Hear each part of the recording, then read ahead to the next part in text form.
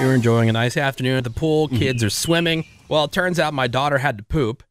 She had taken two steps out of the pool, but she just froze. Okay. Uh-huh. And she goes, I'm like, go, just go to the bathroom. Right. Right. And she's like, I couldn't hold it. What? Oh, so it's in her suit? Oh no. Yeah. I'm like, well, you're not going in the house like that. Oh no. So we get the Oh. suit off of her, and it's mostly contained into the suit. But there was like one nugget that escapee that hit the concrete Oh no. deck around the pool. And before I could even do anything about it, like I was watching in slow motion as I'm still in the pool. Here comes the dog, and just eats it. Oh god. Yeah. That quickly? Oh, like swooped in. yeah.